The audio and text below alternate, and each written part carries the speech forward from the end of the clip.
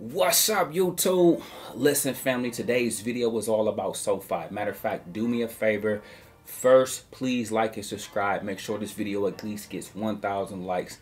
Then also let me know down in the comments below if you have shares of SoFi and if so, how many. And Barron's today, guys, check it out. The debt deal would end freeze on student loan payments which is why SoFi jumped. Check this out, guys. SoFi for a long time now has been running a tight ship, but has continuously been burdened by student loan freezes and the pausing of student loans, and that segment of their business has taken a hit. However, these things has played a role in keeping a great, well-ran company down okay however today i want to kind of break down for you why this stock may be one you want to put on your radar if you're not in it already because there's more room to run especially if you have a long-term horizon okay? Let's go ahead and dive into it. Okay guys bringing out the financials here on SoFi we are looking at revenue okay? They're up 46 percent in revenue. Net income guys they're up 68 percent Diluted EPS, earnings per share, that represents, guys, they're up 64.29%.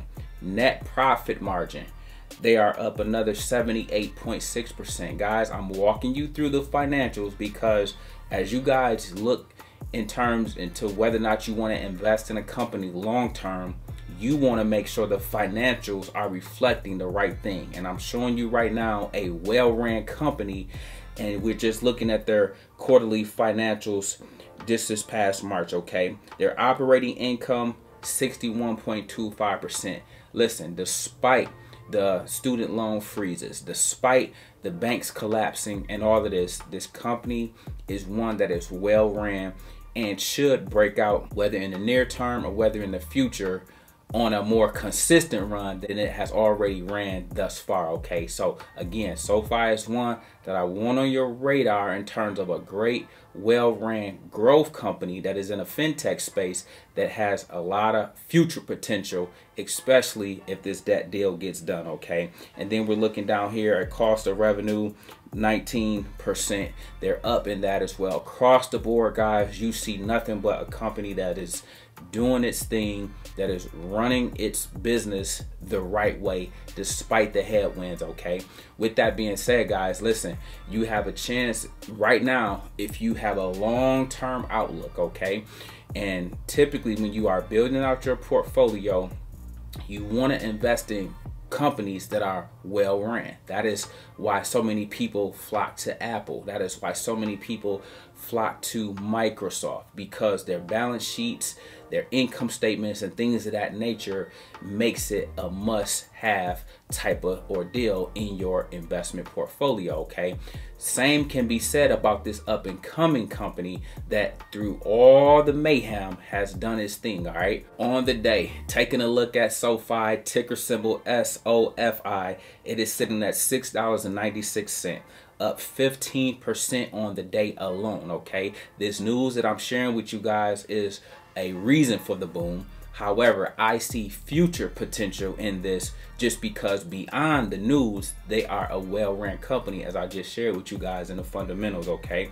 Over the past week, they're up nearly 30%, all right? I see more room to run in the month of June. That's why this stock will be part of my stocks to buy for June when I release that video, so stay tuned for that, okay?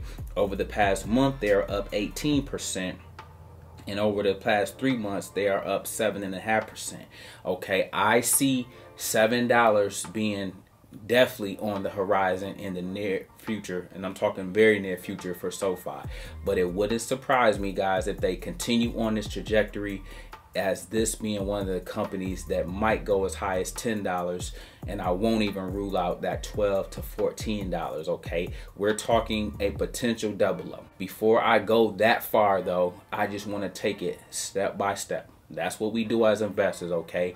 You invest in quality companies and well-ran companies and then when they take off like we saw Nvidia do when they take off like you saw uh, Meta did this particular year after being beat down, you you just are along for the ride versus playing it in a in a in a more reckless way okay? So again guys i see a very very bright future for sofi. However right now i think that seven dollars and 50 cent range is next and something we will potentially test in the month of june okay? So again guys put this on your radar because this is one of the rail ran companies that are in the high risk category okay? High risk high reward but if you're going to do your dd you want to take a small position in this this will be one of those ones to consider. Like i said before let me know down in the comments below if you have SoFi already and if you do how many shares do you have and is it a long-term hold for you is it a short-term hold for you and what do you see for yourself as it relates to SoFi. All right. With that being said, guys, check it out. They are continuing to do their thing, but I want to caution you guys. They are not exempt from when the market pulls back as a whole, they will come right back down with it.